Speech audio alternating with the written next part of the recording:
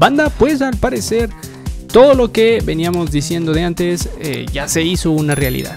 Y es que en días recientes Steam, ya saben, la plataforma para comprar o descargar videojuegos, pues eh, puso eh, como tal una leyenda al momento de abrir su página. ¿Cuál fue esta leyenda? Pues prácticamente que ellos solo distribuyen o lo que te están vendiendo es una licencia para que tú tengas ese juego, más no que tú eres el dueño de ese juego. Y es muy curioso porque desde siempre se ha venido manejando así, de hecho ya lo habíamos dicho antes, siempre vas a tener eh, pues una copia para que tú juegues. En este caso no sería una copia, sería una licencia como lo está diciendo Steam, pues para que tú juegues, eh, descargues el juego que tú quieras y lo juegues.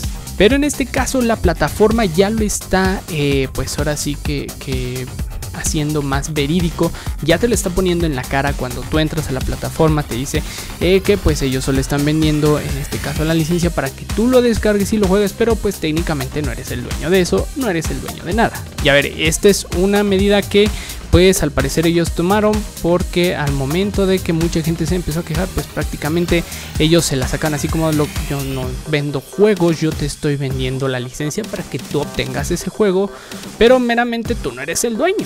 Y es que a ver, a mí me queda una duda, si tú compras una copia en físico del videojuego, técnicamente sigue sin ser el, eh, pues el dueño, solo compraste una copia del videojuego, pero no eres el dueño.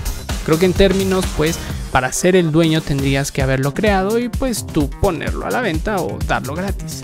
En este caso es una política que pues no afecta tanto porque desde siempre ha sido así en cualquier plataforma en la que tú compres un juego digital.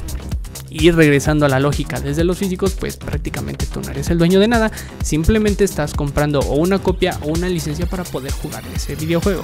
Pero al parecer se hizo un revuelo muy grande, pero pues lamentablemente así es esto del mundo de los videojuegos. Tú no eres el dueño de nada.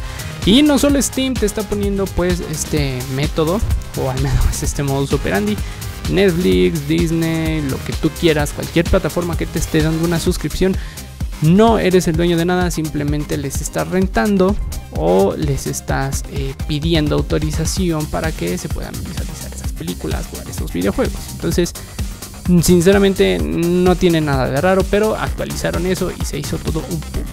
Pero cuéntame, ¿tú qué opinas? ¿Ya sabías esto? ¿Sabías que no eres juego, no eres dueño de nada? Prácticamente si en algún momento cierran tu cuenta de Steam, y esto está muy raro, eh, pues tus juegos se pierden, los juegos que hayas comprado en este caso hayas adquirido las licencias pues se pierden. Entonces pues no hay manera de recuperarlo. Yo por eso tengo mi colección en físico y pues bueno creo que no fue un gran error como en algún momento lo iba a pensar. Pero cuéntame a ti qué te parece. Nos vemos despuesito. Adiós